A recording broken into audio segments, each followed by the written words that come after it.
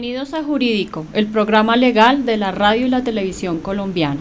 Hoy traemos como invitada a la doctora Katia Alexandra Benavides, quien desde el punto de vista de la ley nos ayudará a resolver algunas inquietudes. Doctora Katy, ¿cómo está?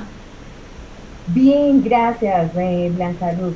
Acá de nuevo con los televidentes de Santel para resolverles las dudas que tengan, sobre todo en este tiempo de cuarentena que, surgen muchas inquietudes por parte de muchas personas frente a diversos temas legales. Doctora Katy, ¿qué tema traemos para el día de hoy? Básicamente vamos a ver lo que es la formación de los contratos en el tiempo de cuarentena. ¿Qué pasa con los contratos de, de arrendamiento de vivienda urbana? ¿Qué pasa con los contratos de arrendamiento de establecimientos de comercio? Entonces la idea es resolver las inquietudes que los televidentes de Santel han hecho llegar y pues darles como unas luces frente a qué situaciones se les puede presentar en estos tiempos de pandemia. Claro, porque digamos el presidente había declarado de que las personas que tuvieran eh, arriendos o contratos de arriendos de tanto de locales como de casas como de bodegas, pues quedaba como suspendido por el momento mientras pasaba toda esta cuarentena, ¿no? Correcto, hablábamos en un anterior programa que la idea es que cuando se declara un estado de emergencia sanitaria, en este caso que tiene el Estado colombiano, estado de emergencia sanitaria y ecológica. Entonces se empiezan a emanar una serie de decretos que van pues llenando los vacíos a las personas en diferentes situaciones, como este caso es el, los contratos que se han realizado dentro de algunos establecimientos y los contratos de vivienda humana. Vamos a entrar en materia y vamos a analizar qué es lo que sucede en este momento en tiempos de pandemia con aquellos contratos que han estado vigentes. el gobierno nos otorga la posibilidad de generar unos acuerdos, pero miremos bien qué es un contrato. Un contrato está establecido para mm, hacer vínculos comerciales, establecer relaciones comerciales que una parte se obliga para con la otra a dar o a generar algún tipo de remuneración. Existen diferentes contratos a nivel de Colombia, que pues vamos a verlos muy, muy generalizados. Tenemos los contratos que son unilateral y bilateral. Esto nos rige en el Código Civil en el artículo 1496 Simplemente vamos a ver de qué se trata este contrato para que las personas se ubiquen. El unilateral bilateral quiere decir que yo hago un tipo de acuerdo, hago un acuerdo, un contrato con la otra persona, bien sea de que me arriende un bien inmueble o bien sea de que me arriende un local. Entonces, bilateral quiere decir que yo cuento con la opinión de la otra persona quiere decir que estoy dándole mi consentimiento y la persona me da un consentimiento para suscribir y firmar un tipo de contrato. Es una, es una relación entre dos personas, tanto la persona que tiene el inmueble como la persona que lo va a tomar en arriendo, ¿no? Es un acuerdo, Blanca. Blanca Ruth me dice, tome en arriendo esta habitación o este apartamento. Sí, señora asinte mi voluntad de que sí quiero suscribir el contrato para poder tomar en arriendo eh, la habitación o el bien inmueble que me vaya a dar Blanca Ruth como arrendamiento. Entonces, este, este tipo de contrato entonces lo llamamos unilateral, bilateral, bien sea por una de las partes o bien sea por las dos partes que estén de acuerdo. Otro tipo de contratos que podemos encontrar en Colombia nos lo rige el artículo 1497 del Código Civil que se llama gratuito o oneroso. Ese tipo de contrato bien puede ser, todos los contratos pueden ser escritos y deberían ser escritos. ¿Para qué? Para que quede estipulado dentro de las mm, cláusulas allí que vamos a establecer, bien sea el objeto para que yo quiera un bien inmueble, el precio si voy a hacer una cancelación de algún tipo de remuneración, el uso y las restricciones y la forma de terminar un contrato. Cuando hablamos con el artículo 1497 del Código Civil, cuando decimos gratuito, oneroso, por decir algo, hablamos que la iglesia cristiana Pepita Pérez nos va a dar eh, un tipo de bien inmueble, pero no nos va a cobrar ese, ese, ese, arrendamiento sobre, digamos, una bodega. Entonces se estipula de todas maneras, o sea, todo es muy bonito, lo podemos hablar, pero es mejor dejarlo por escrito, claro. Lo, lo que escrito, escrito está. Correcto. Entonces, si digamos la iglesia Pepita Pérez nos dice, tome, ubique acá sus equipos, goce y esté usando un bien inmueble, sí, pero entonces establezcámoslo por escrito y la forma de pago va a ser de pronto gratuitamente. Cuando se habla de la parte onerosa, quiere decir que yo voy a recibir algún tipo de, de valor monetario. Entonces, ese, o sea, ese es un requisito que tienen que cumplir los contratos. Entonces, existe uno gratuito y uno oneroso. En el artículo 1498 hablamos de los contratos conmutativos y aleatorios.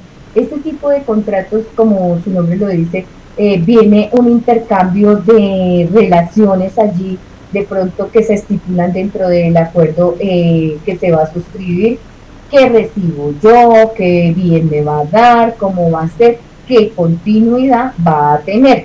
Entonces, o sea, como vemos, ya vamos tres clases de contrato que nos dice el Código Civil, el de 1496, del 97 y del 98. Ahora, en 1499 el Código Civil nos habla de un contrato principal y accesorio. ¿Qué quiere decir eso? Quiere decir que yo genero con Blanca Ruth un contrato donde vamos a llegar a un acuerdo de que Blanca Ruth me arrienda una bodega y que esa bodega voy a tener yo el uso el goce, más no la libre disposición, pero le voy a remunerar un valor, le voy a cancelar un valor que me va a cobrar por el canon de arrendamiento bajo unas condiciones. Yo estaría hablando en este momento, en estos tiempos de pandemia, de emergencia sanitaria, cuando dice el decreto 579, hay un contrato principal, no lo dice el artículo 1499 pero se puede hacer un accesorio.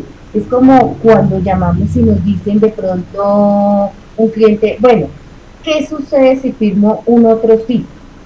Eso es accesorio al contrato. Es algo que se le agrega al contrato que ya se tenía inicialmente. Correcto, correcto. Entonces, el artículo 1499 nos da la oportunidad de que se le anexe algún tipo de cláusula a este contrato. Por eso, o sea, cuando empezamos ahorita la pandemia, empiezan a emanar todos los, mm, los decretos reglamentarios, pero tienen que basarse sobre algo, un cimiento, ya les cuento por qué. Y el artículo 1500, que es un contrato real, solemne y conceptual. ¿Qué quiere decir esto? Que es real porque es físico. Yo cuento con un documento. Solemne porque yo voy y lo registro a una notaría. Y con es porque Blanca Ruth y yo acordamos unas Aceptamos las, las condiciones que están en ese contrato. Entonces, bajo esta, esta normatividad que nos dice el Código Civil, empezó a regir la emergencia sanitaria. Entonces, bien, si nosotros entramos a la, a la, al, al decreto 579, entonces vamos a ver allí que va a haber una serie de estipulaciones donde nos dice em, que existe eh, un código civil que regula los contratos. Entonces esa sería una parte. Que existe una ley, la ley 490, ya vamos a mirar, 448 del 96, donde nos da la posibilidad de una conciliación. Vamos a mirar acá, entonces, ¿qué es lo que quiere establecer el Estado? Existe una ley también, que es la 820 para la parte de vivienda, la ley 820 del 2008, que nos rige la parte de vivienda y nos rige lo que es el establecimiento de comercio, que existe un código de comercio, que además existen unas sentencias de las cortes donde han emanado algún tipo de aclaraciones, han confirmado, han verificado, han establecido derechos fundamentales para no violarle esos derechos a los arrendatarios. De igual forma, también, o sea, nos basamos sobre el Código Civil. ¿Qué quiere decir esto?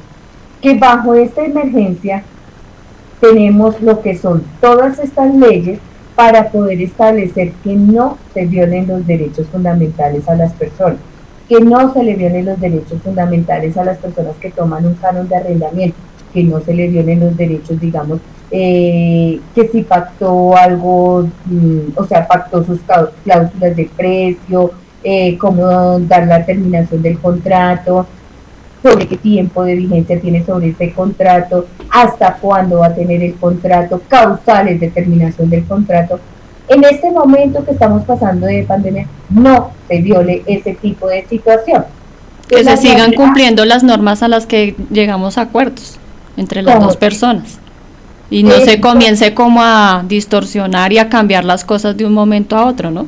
Exacto, que de pronto lleguemos y, y de pronto estén las personas diciendo, ahora, ¿qué pasó? Es que imagínense que tenía un contrato donde se manejaba que la única causal de terminación era de que si yo usaba el local bien inmueble para otro tipo de situación y eh, me, se me daba por terminado el contrato, pero resulta que ahorita en tiempos de pandemia no he podido abrir el, establecimiento, no, y la persona, el arrendatario me dijo, no, que desocupe, no. La situación no es tan fácil en este momento, tampoco difícil. La idea es que las personas sepan, sí, o sea, ya las papel ¿Qué me rige a mí? El Código Civil. Me rige el Código de Comercio. Me rige la Ley 448 me rige la sentencia de la Corte y me está rigiendo todo ese tipo de jurisprudencia a nivel de contratos que me protegen tanto a mí como arrendatario como al, arrendatario para que no se viole ningún tipo de norma. Entonces, ¿cuál es la idea? Que estos, o sea, decir tiempos de pandemia no es que haya cambiado o que se dé un cambio de contratos, no la norma sigue sobre esa Sigue rigiendo el que se, ya se tenía. Es correcto. Seguimos sobre esa línea, seguimos sobre el contrato.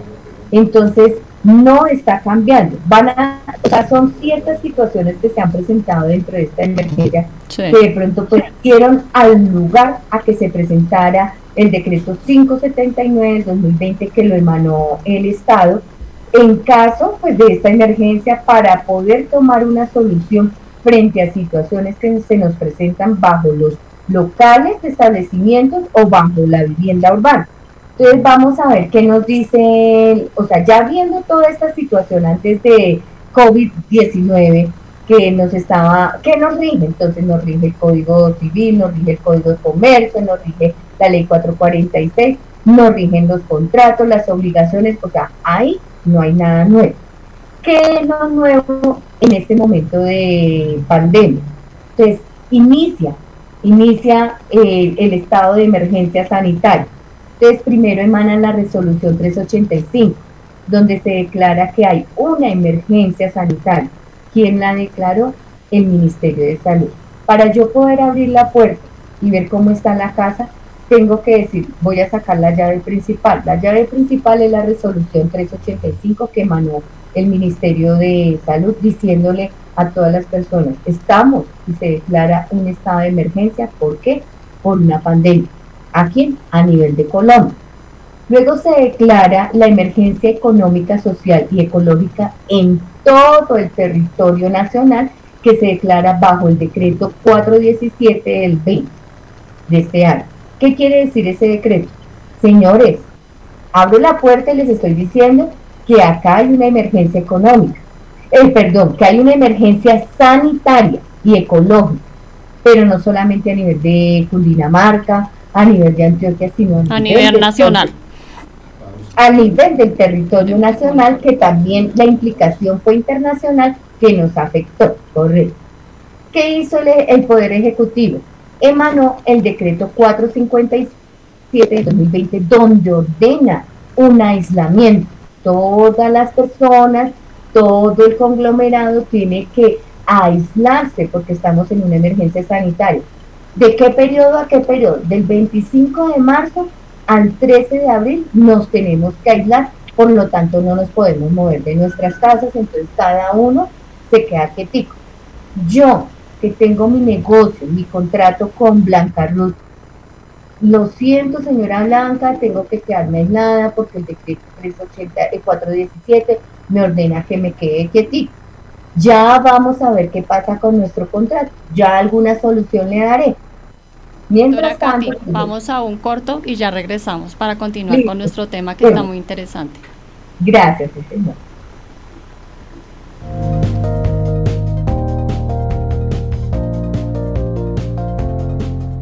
Contra el coronavirus hemos implementado turnos y horarios para que las empresas autorizadas puedan operar. Señor empresario, ingrese a www.bogotá.gov.co para consultar el horario y turno de operación que le corresponde de acuerdo a su código de actividad económica. Recuerde que debe reportar diariamente si algún trabajador presenta síntomas. Cumplir los horarios establecidos ayudará a evitar aglomeraciones en el sistema de transporte masivo y prevenir el contagio. En Bogotá, para volver a encontrarnos, estamos aprendiendo a cuidarnos. Alcaldía Mayor de Bogotá. Santel Televisión, Innovación en Comunicación, el canal de televisión vocero de la ciudadanía de Bogotá y el país. Hacemos transmisiones streaming en vivo y en directo de eventos, ferias, convenciones, con Switcher Team Production Studio 4K Black Valle. Producimos animación 3D y 2D de calidad con plataformas de última tecnología. Realización creativa de videos comerciales, didácticos, educativos, institucionales.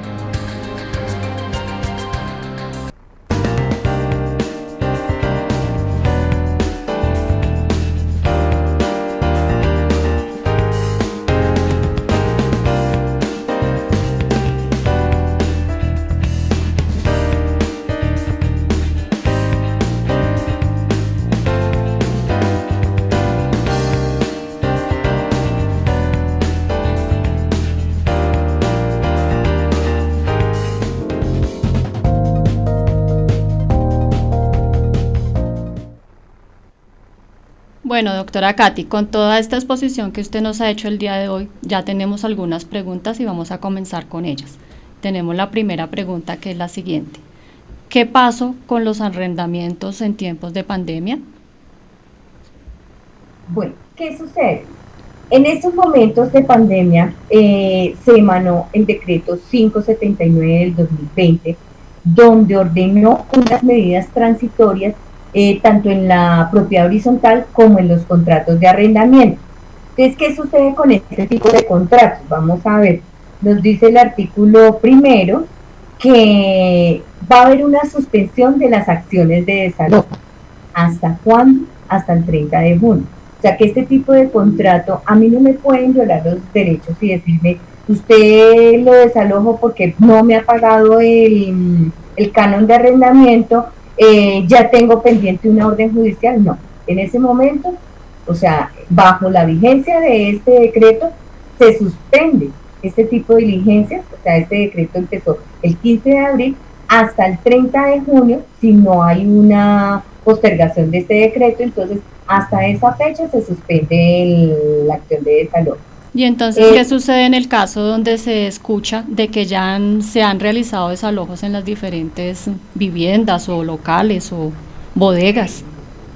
Bueno, donde yo tenía entendido que había escuchado era en la parte del Valle del Cauca que se presentó un desalojo, pero era una, una reubicación de un terreno que habían ocupado. Ocupado. Eh, acá, exacto, la inspección, pues, o sea, emana la orden para o sea, tomar nuevamente el, el terreno de que evitar que no se vaya a, a, politizar allí, que no se vaya a ubicar más personas, que no vayan a construir. Que no se va a convertir en una ciudadela.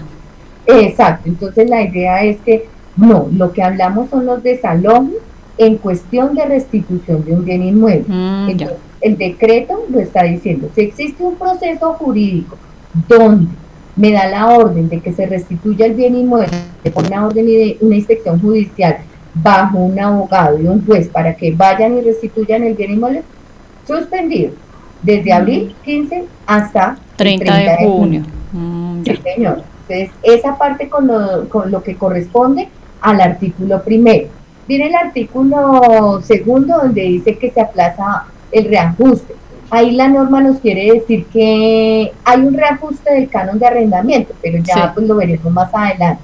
En el artículo 3 del decreto también nos habla sobre unas estipulaciones especiales respecto al pago del canon de arrendamiento que ya viene a ser como un acuerdo que generen las partes, la voluntad, lo que decíamos. Blanca Ruth con Katia Alexandra llegan a un acuerdo. ¿Para qué? Para pagar el canon de arrendamiento en tiempo de pandemia. En el artículo cuarto habla sobre una prórroga de los mm, contratos. Si Blanca Ruth y Katia Alexandra se nos vencía el contrato en el periodo de marzo, abril, mayo o junio, se prorroga hasta el 30 de junio y ya pues le damos un orden después de que pase este tiempo para ver si seguimos con el contrato o hasta ahí llegamos con el contrato. De igual forma, hay un, en el artículo 5, habla sobre el inicio de los contratos donde se haya pactado una entrega. De igual forma, si Blanca Ruth, yo dije en marzo o en abril, en marzo le iba a entregar el bien inmueble, en marzo, digamos, 20. Entonces, ¿qué dijo la norma? No, esperemos hasta el 30, ya pasado el 30, entonces ya verificamos que nos ponemos de acuerdo para la entrega del bien inmueble. Entonces, eso es lo que quería buscar como el decreto 579. Bueno, y si de pronto la persona tiene en arrendamiento y definitivamente decide no, con todo esto que está sucediendo, pues yo prefiero devolver el inmueble, ¿lo puedo realizar? Claro que sí, lo puede hacer. ¿Por qué? Porque ya hay un acuerdo de voluntades de las partes donde van a pactar los dos eh, cómo va a ser la entrega, si no hay la posibilidad del pago del canon de arrendamiento. A mí la ley no, o sea, el decreto no me está dando la facultad de que no puedo. Sí, se puede mm. recibir el inmueble, se puede recibir, porque estamos haciendo un acuerdo, porque la persona de pronto está previniendo, ya no va a tener ingresos, entonces pues prefiero entregar el bien inmueble y que no me siga corriendo el canon de arrendamiento, pero sí lo puede entregar en estos momentos ya que se organice la forma de un trasteo, que se organice cómo va a ser, eh, ya se, se pacta, digamos, en el conjunto, en el sitio de vivienda, con la inspección, o sea, con toda la reglamentación, el protocolo que tiene el, el gobierno para este estado de emergencia. Ah, bueno. Listo. Vamos con la otra pregunta, doctora Katy, porque están llegando. ¿Qué decretos y normas nos rigen para los contratos de vivienda y contratos comerciales? Listo, vamos a ver entonces. Em, lo que yo les estaba hablando al iniciar. Antes del COVID, antes del COVID, pues o sea, antes y ahora, nos dije lo del Código Civil, básicamente del artículo 1496 al 1500. El Código de Comercio, entre sus artículos del 864 al 894, nos rige estos artículos para lo que son los cánones de arrendamiento en establecimientos de comercio. Nos rigen los contratos que hayamos pactado y nos rige una ley que es muy especial, la ley 446 del 98, artículo 69, donde vamos a ver la conciliación. Eso es antes de la pandemia. En estos momentos que estamos dentro de la pandemia, básicamente estamos sobre el decreto 579, que es el que nos ordena las medidas transitorias para poder llegar a un acuerdo eh, en las, mm, con las partes, llegar a un acuerdo de entrega, llegar a un acuerdo de prórroga, llegar a un acuerdo para poder no finiquitar, digamos, pues, o sea, la entrega de un bien inmueble o poder llegar a un acuerdo para un pacto de pago con, con mi canon que yo esté en el momento inmora. Esas serían básicamente como las normas que en este momento nos están rigiendo. Ah, bueno, listo. Seguimos con otra pregunta que tenemos. Gracias. ¿Qué es un acuerdo conciliatorio? Bueno, eh, el abogado siempre tiene que procurar la conciliación. Este acuerdo conciliatorio me parece muy importante la pregunta que le hayan hecho los televidentes de Santé. ¿Por qué? Porque en estos momentos de pandemia, el decreto 579 nos dice si usted va a hacer la entrega del bien inmueble, si usted está en mora, si usted em, se le van a incrementar unos intereses, hay intereses de mora, intereses corrientes, entonces sentémonos y hagamos un acuerdo. El acuerdo conciliatorio es básicamente la voluntad para pactar, mejorar una situación que lleguemos a analizar Entonces Blanca Ruth y Katia Alexandra tienen el canon de arrendamiento de la bodega X. yo quiero decirle a Blanca Ruth, conciliemos, sentémonos, escribamos, ¿qué es lo que vamos a pactar? Si va a haber cobro de intereses, que el decreto 579 nos dice, no, en el momento por la pandemia no hay cobro de intereses. Em, no se deben cobrar. No, en el momento, o sea, dentro del tiempo, abril 15 a junio 30, no se deben cobrar los intereses. ¿Por qué? Porque es que estamos pasando por una crisis. Sí. Entonces, eso es un acuerdo conciliatorio que nos mm. otorga el decreto 579 para poder escribir y estipular que vamos a llegar a un acuerdo con Blanca Ruth, que vamos a establecer unas, unas voluntades entre las dos personas, pero que nos rige el decreto 579 nos emana no como una orden, nos da la oportunidad de que nos sentemos. De llegar a acuerdos entre las dos partes. Exacto.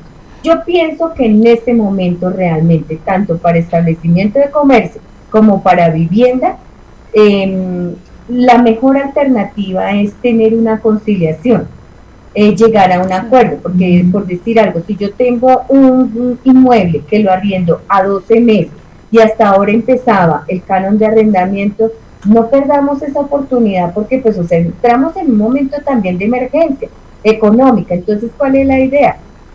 Trate bien a su arrendatario, dele la oportunidad de que si presenta una emergencia económica, eh, sosténgale o rebájenle o lleguen a un acuerdo para que de pronto este cliente no se me vaya, sino que al contrario, seamos solidarios, generemos el acuerdo y pues, o sea, si de pronto ya la persona dice, yo ya no puedo, no puedo continuar con el contrato, listo, me queda debiendo dos meses, me los va a pagar a 12 cuotas, y si ve la oportunidad que de pronto pues tiene mejorar su situación económica, continuemos con el contrato o definitivamente finiquitemos el contrato. Ya es el acuerdo al que lleguen entre las dos partes. Exacto. Consejo, si se diera el caso de que de pronto la persona que tiene arrendado le dijera, bueno, eh, partamos, digamos, yo pago 200 mil pesos, de esos 200 le puedo pagar la mitad, ¿eso ya es el acuerdo entre ellos dos y lo podrían realizar o...? Correcto, sí, pero háganlo por escrito, háganlo por escrito porque eh, en, en este momento de pandemia todo el mundo pues, o sea, bajamos cabeza, creamos unas condiciones, eh, nos ilusionamos, le damos la oportunidad a la persona, digamos, se ha asesorado personas con establecimientos de comercio que les han dicho en la mitad del canon de arrendamiento, pero después vienen, eh, ahogada, no, es que no lo han cumplido, no. Hagámoslo por escrito. Todo acuerdo conciliatorio es una voluntad tanto de Blanca como de Katia Alexandra. Pero escribamos qué es lo que vamos a pactar. Entonces, eh, Blanca me dice, por favor, rebájenme, no puedo pagarle sino la mitad del canon de arrendamiento durante el mes de marzo, abril, mayo y hasta junio. Me da la, el decreto 570. Le dice, señora Blanca, vamos a hacer el escrito, vamos a estipular que usted, hagamos de cuenta que es un otro sí. Hace parte este acuerdo conciliatorio del contrato inicial, que era lo que hablábamos al principio, cómo son los contratos principal y accesorio. Entonces, este acuerdo que lleguemos las dos, lo vamos a escribir y lo vamos a dejar anexo, donde yo no le voy a cobrar intereses y le voy a cobrar el 50% del canon de arrendamiento. ¿Para qué? Para que mientras tanto usted organice su parte económica, su parte laboral. Si es su voluntad y si vemos que definitivamente no puede continuar, damos por terminado el contrato pero si de pronto da la posibilidad de que puede continuar con el contrato, para mí mucho mejor, porque pues voy a recibir un ingreso. Claro. Y en el caso y en el caso de que bueno, hicimos el, otro sí, donde eh, yo le pago la mitad, pero ya definitivamente yo veo que no, que ya definitivamente no puedo, entonces hacemos otro sí a ese contrato. Y también lo dejamos por escrito, pues como para no tener dificultades después, ¿no? Siempre se deja por escrito aquellos acuerdos conciliatorios. Por eso habla del decreto 579. Haga un acuerdo conciliatorio con su parte. Yo no me puedo meter como estaba a decirle pague así, no pague así, cóbrele así, no. Simplemente le doy unos parámetros. No le cobre la cláusula penal.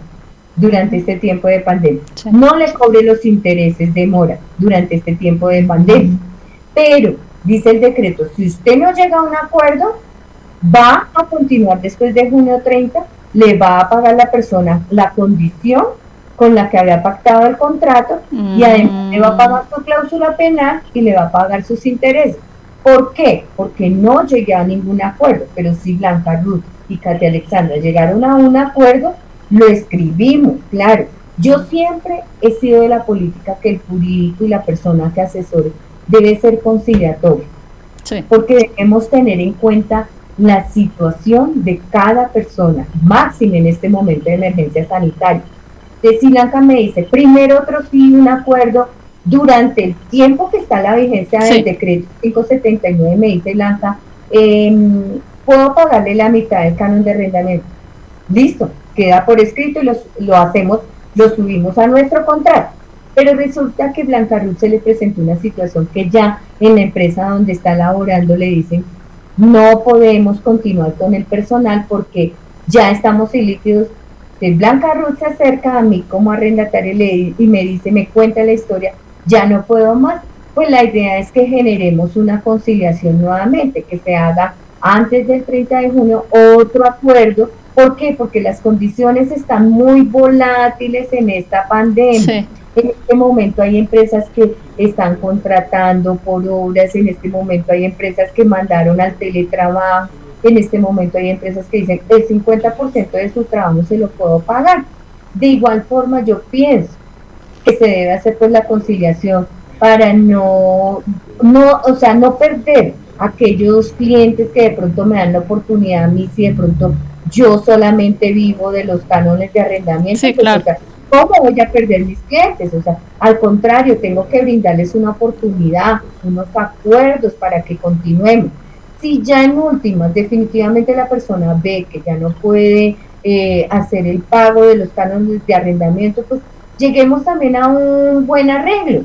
¿Para qué? Para no tener que después de la pandemia acudir a la ente jurisdiccional a, a, a pedir la restitución del bien inmueble. Entonces, hagamos unos buenos acuerdos donde tengamos en cuenta la condición de la persona y tengamos en cuenta la emergencia de este que está atravesando el país. Bueno, doctora Katy, continuamos con otra pregunta que tenemos. Sí, señor. ¿Es cierto que si soy arrendatario puedo exigir el no pago del canon de arrendamiento? En estos momentos de pandemia, tanto como exigir el no pago del canon de arrendamiento, no, o sea, no lo puedo exigir. La palabra exigir enmarca como un mandato de parte del arrendatario.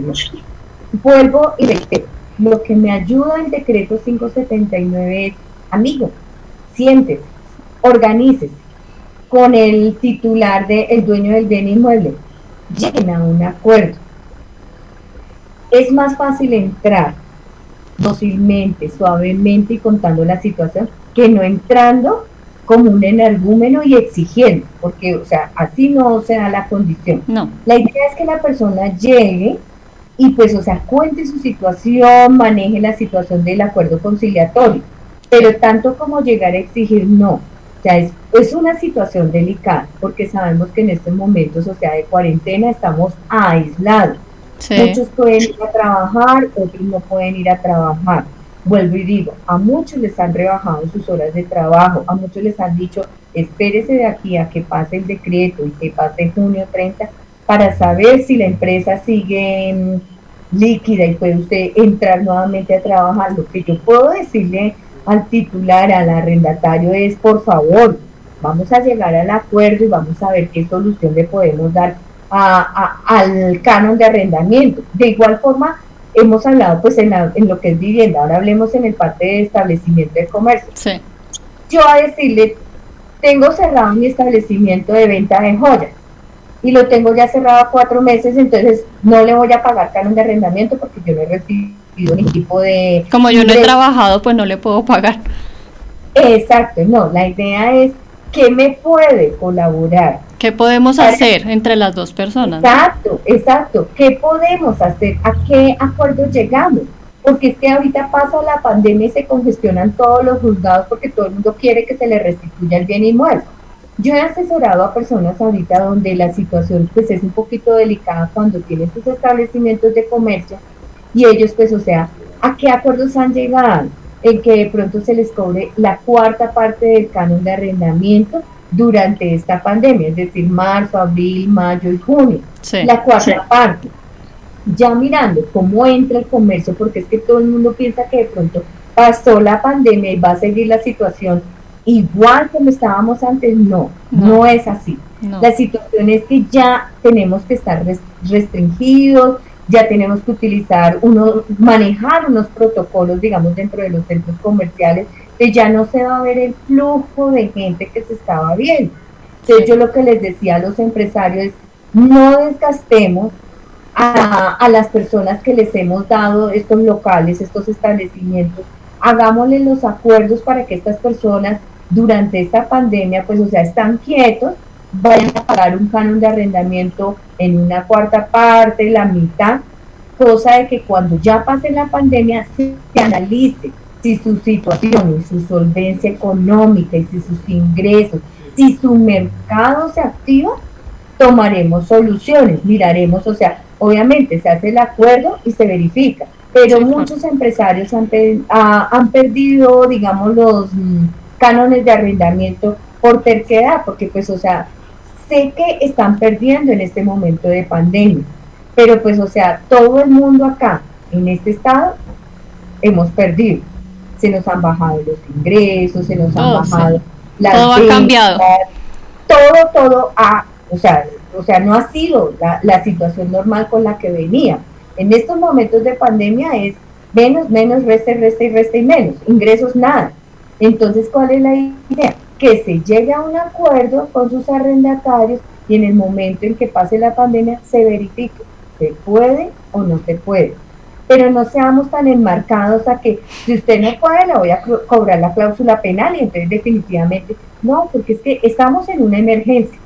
Y vamos a exigir ahorita, obviamente que todos, o sea, necesitamos el ingreso, pero yo les decía a los empresarios, no desechen, no desechen estos, estas personas que al menos están pidiendo un acuerdo, un acuerdo de pago para saber cómo se le paga estos cuatro meses al centro comercial, cómo se le paga a la empresa, al local que yo tomé en canon de arrendamiento, cómo le pago estos cuatro meses.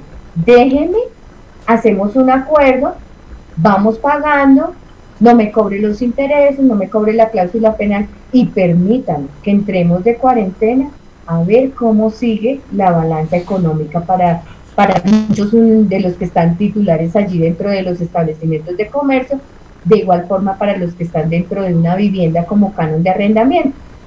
Bueno, doctora Katy, vamos a un corto y ya regresamos.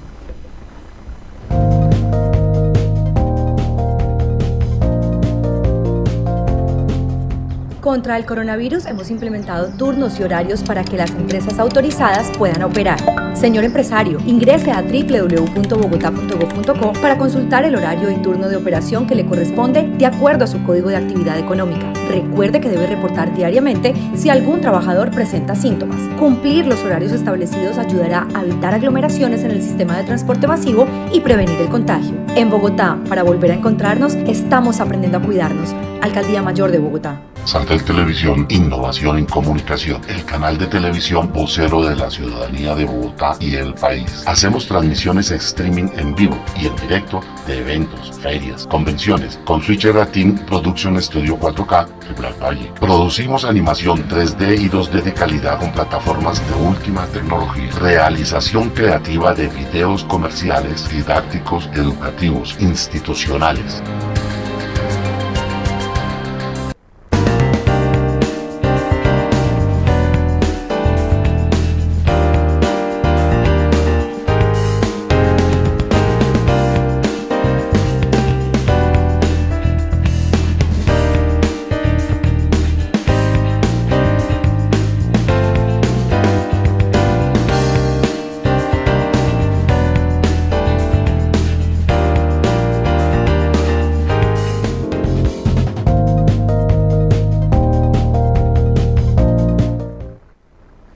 Doctora Katy, me ha surgido una duda.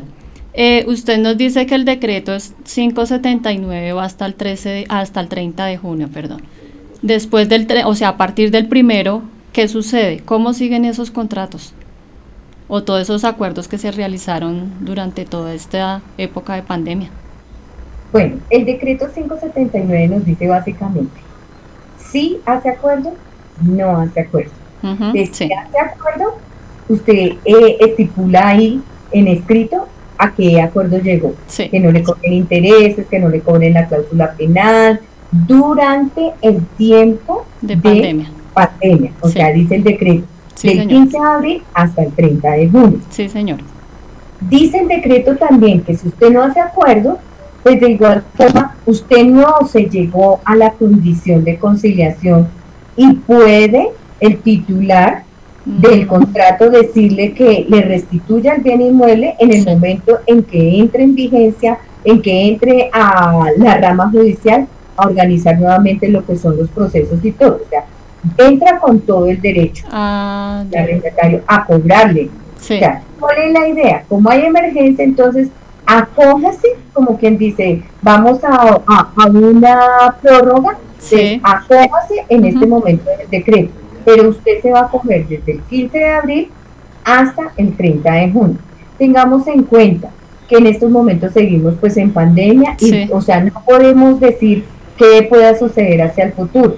Como puede que se prorrogue, como puede que ya lleguemos hasta el 30 de junio, puede que de pronto dentro de la ciudad de Bogotá, como ha sido el nivel más alto de contaminación, nos unos días más, entonces, o sea, el decreto si de pronto llega y, se, se, prorroga la, la, forma de estar del confinamiento, entonces no se emanan otro decreto, tienen que tomar ah. la parte de los cánones de arrendamiento y decir, se prorroga el decreto 579 hasta tal fecha, porque estamos en un estado de emergencia. Ah, como quien dice, se solucione o se establezca ya los protocolos o se maneje la parte ya como volver a la continuidad de la vida.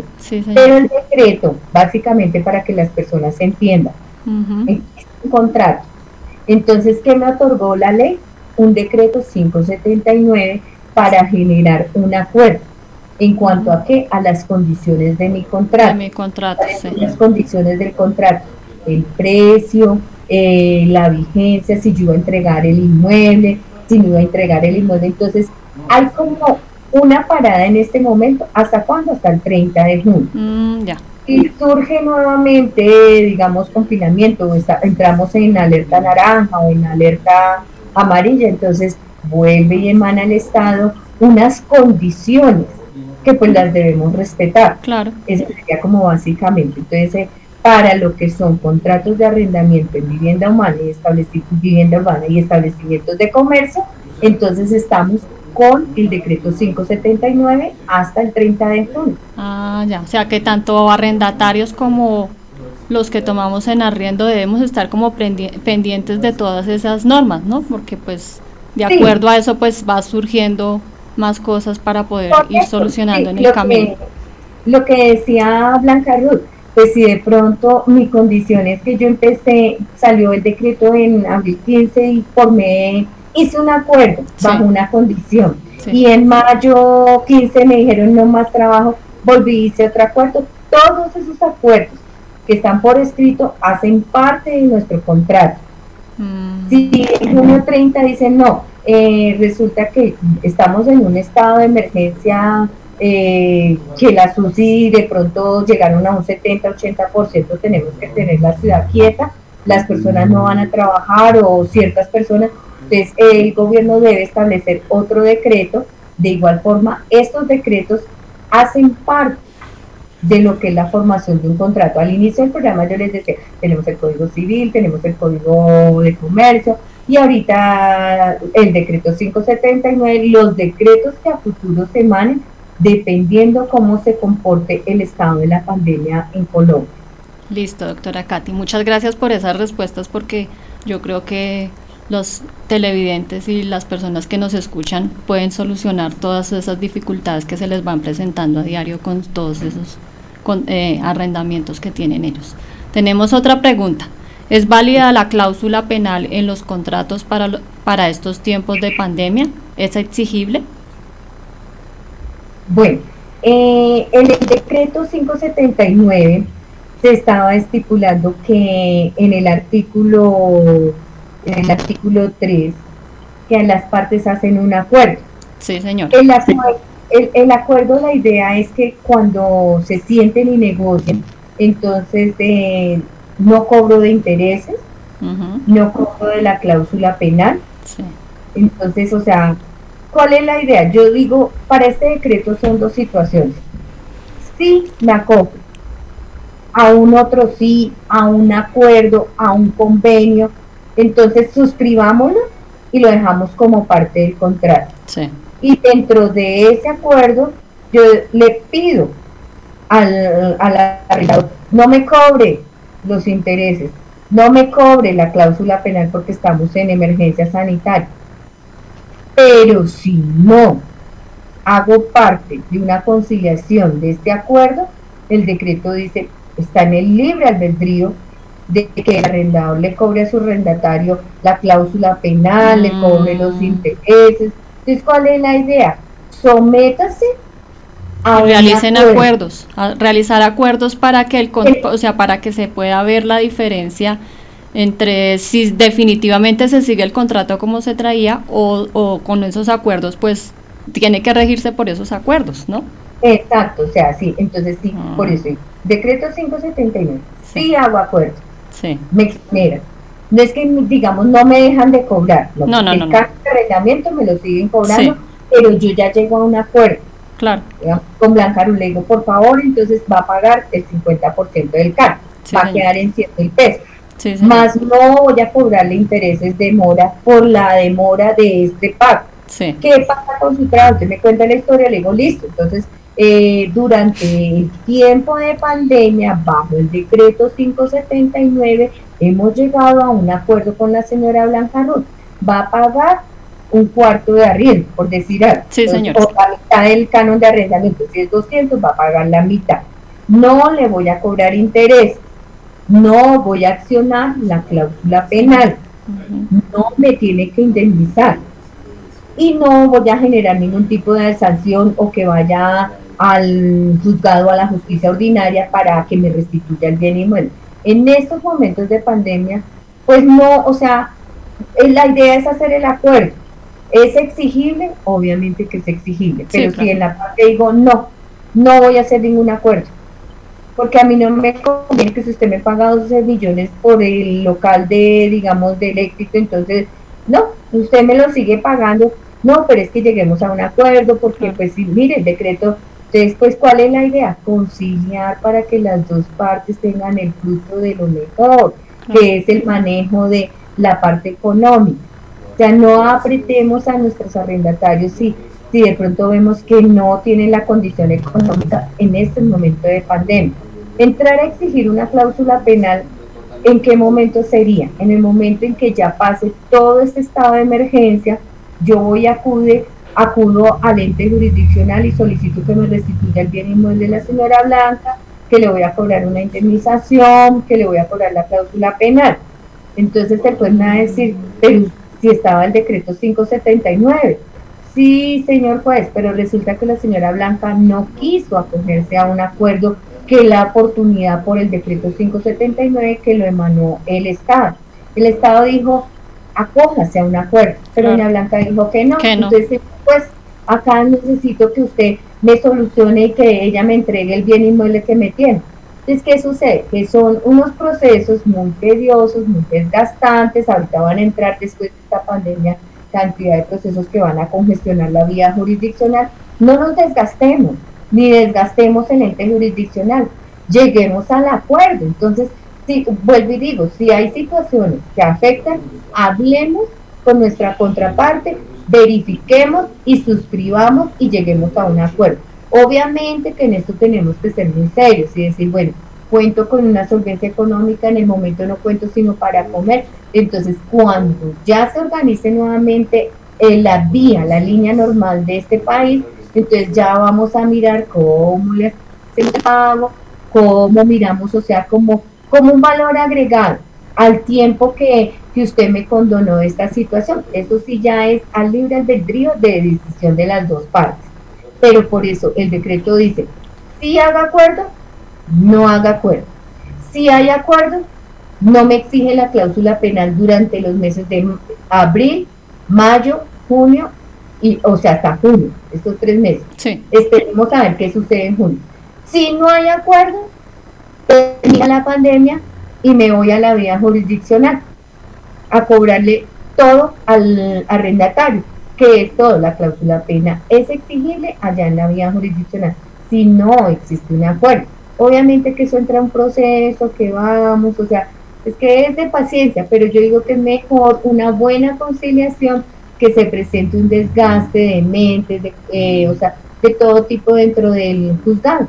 Lleguemos a acuerdo. Y viéndolo bien es un beneficio para la persona que tiene algún inmueble en arrendamiento, porque pues con todos esos acuerdos es más fácil de pronto de que después pueda pagar cuando pase todo este todos estos inconvenientes. Es un beneficio para las dos partes. Eso es lo que busca el Estado, principio de igualdad. Tanto la señora Blanca como Katia Alexandra que estén dentro de la balanza. Se sienta satisfecha doña Blanca de que se le llegó a un acuerdo y que le están cobrando la mitad o un cuarto del canon de arrendamiento, como para mí con la oportunidad de que no voy a dejar de recibir. Y que también con la posibilidad de que doña Blanca no no se me vaya a ir sin pagar el canon de arrendamiento. Sí, claro. Es buscar el equilibrio en tiempos de pandemia. Bueno, vamos con otra pregunta, doctora Katy. Si se pagó prima por un local, ¿se puede exigir la devolución por quiebra?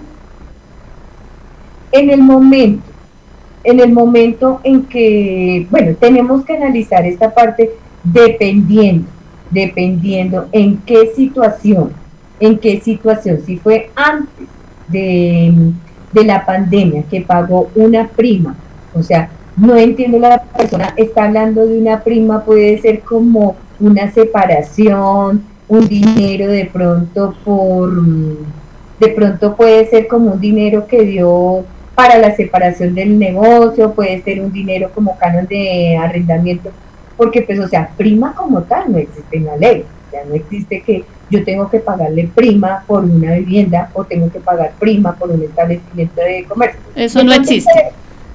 No, no, no, no lo tiene estipulado la ley. Ah, de pronto el evidente lo que quiso decirnos es que si pagó, digamos, como un abono eh, o de pronto una separación antes. De pronto podría ser que a veces se escucha que por decir algo yo voy a tomar un local y para poder tomar ese local debo pagar como unos, como unos dos meses con anterioridad, ¿podría ser eso? Podríamos estar hablando que el contrato de arrendamiento, tanto para establecimiento de comercio como para vivienda, de pronto nos puede exigir un valor anticipado mm, para como para cubrir cuando sucedan cosas como es como, como como esta puede ser algo así. como arreglos locativos o arreglos que tengan de pronto para hacer. Entonces, digamos, ah. eh, Blanca Ruiz llegó y dijo, voy a tomar el apartamento que arrienda Katia Alexander. Sí. Entonces le digo, listo, le voy a cobrar 200 mil pesos mensual, pero me hace un favor, Blanca Ruiz, me hace un depósito de 100 mil pesos para aquellos arreglos que se vayan a tener en cuenta cuando usted me restituya el bien inmueble. Entonces se dañó una ah. lámpara, se dañó un enchufe, se dañó una baldosa, entonces de esa plata que me dio en depósito va a ser para hacer esos arreglos. O sea, eso es un acuerdo que se llega con las, mm. dos personas. Entonces, ¿qué sucede? Creo que el televidente nos estaba diciendo, si yo hice ese depósito y voy a entregar el bien inmueble, está, es, legal. Yo lo puedo exigir que me lo devuelva. Como es, es como la pregunta, ¿cierto? Sí, lo puedo exigir, pero miremos cómo está el bien inmueble. Es que nos rodea frente mm. a estos muchos factores. ¿Cuánto tiempo tomó el bien inmueble? Eh, si cuántas, veces, o sea, qué tiempo ha usado el bien inmueble. Entonces, de pronto hay que hacer, por eso es que cuando toman un bien inmueble en arrendamiento, hacen un inventario. Entonces, la puerta está bien, los enchufes están debidamente mm, apretados, la puerta de, digamos, de que va a dar al patio es de vidrio y está totalmente impecable el vidrio, entonces sí se puede exigir una devolución, pero frente a cómo entrego yo el bien inmueble.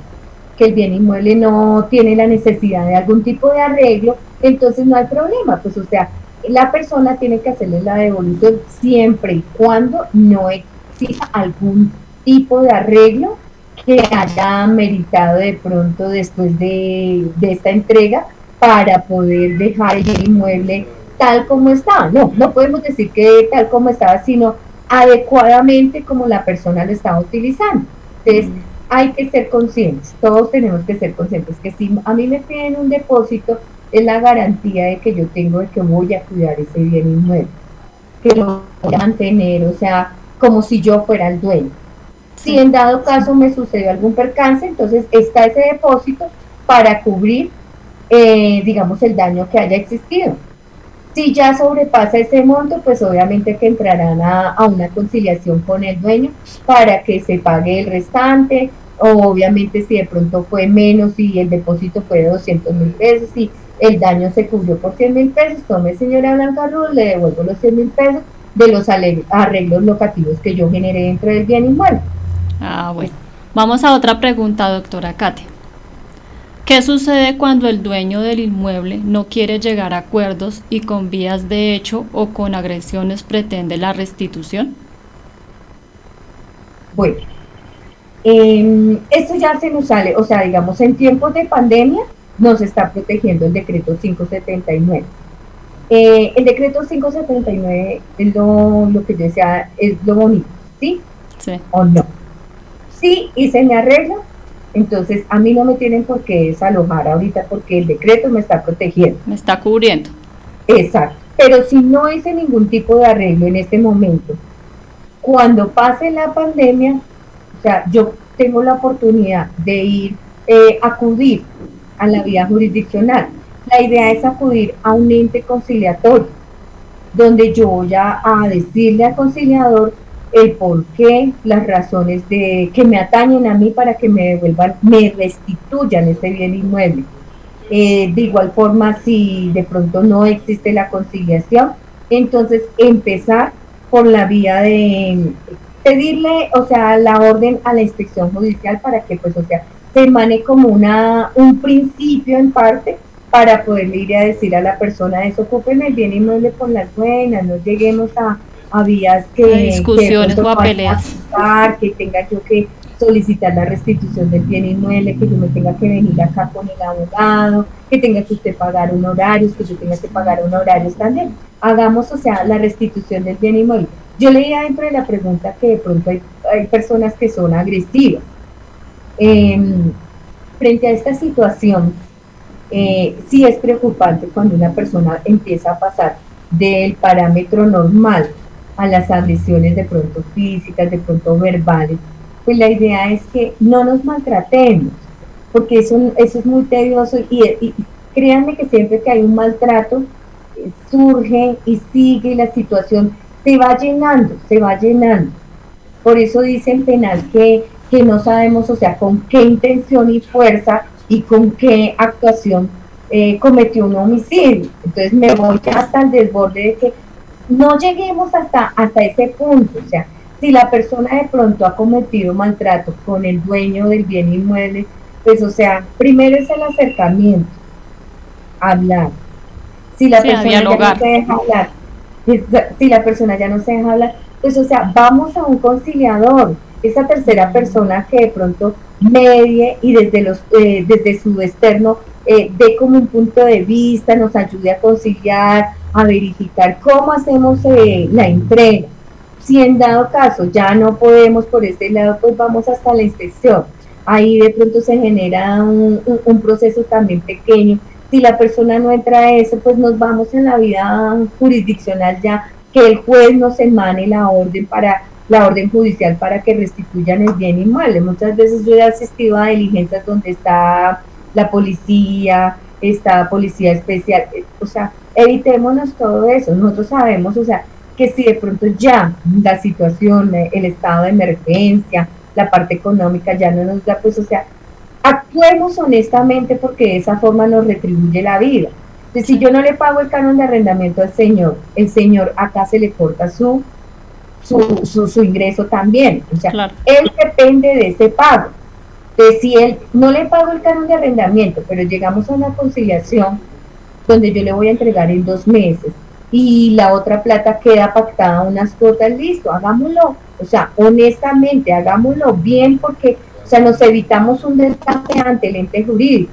Pero si esa persona definitivamente no le quiere entregar, no le quiere entregar, no quiere pagar el canon de arrendamiento, no se quiere ir por las buenas, entonces pues nos toca acudir a, al derecho para que el juez nos dé la orden de que restituya el bien inmueble. Entonces la idea, no nos desgastemos así, porque nos han prestado un servicio, independientemente que ese servicio va sobre un contrato, pero nos están prestando, entonces es como por decir algo en la vida laboral yo me voy a trabajar, trabajo con mi jefe y el jefe me dice, usted se tiene que ir porque hay una justa causa. Pues no, no me voy. Hagan de cuenta que la situación es así. No desgastemos y si vemos que hay violación de los derechos, entonces acudamos a la justicia, que la justicia misma se encarga. No, que si no hay justicia, sí hay justicia, el principio de igualdad, tenemos que poner la balanza, tanto para el arrendatario como para el arrendador o sea, esto es una cadena, una cadena. No podemos cortar la cadena porque así mismo no nos van a retribuir en un futuro. Entonces, yo lo que siempre digo, hagamos la conciliación. Ahorita durante esta pandemia el decreto 579 nos da la oportunidad de hacer conciliación. Y después... Bueno, todas sus preguntas nos las pueden enviar a la página www.santel.info también las puede enviar al correo santeltv.gmail.com o al teléfono fijo 805-9015 o al WhatsApp 310-861-7912. Doctora Katy, muchísimas gracias por todas estas respuestas el día de hoy y nos vemos dentro de ocho días. Gracias a la familia Santel por sus preguntas. Hagan las preguntas, acudan al jurídico. Desen esa oportunidad de tener una respuesta certera. Gracias. Hasta pronto.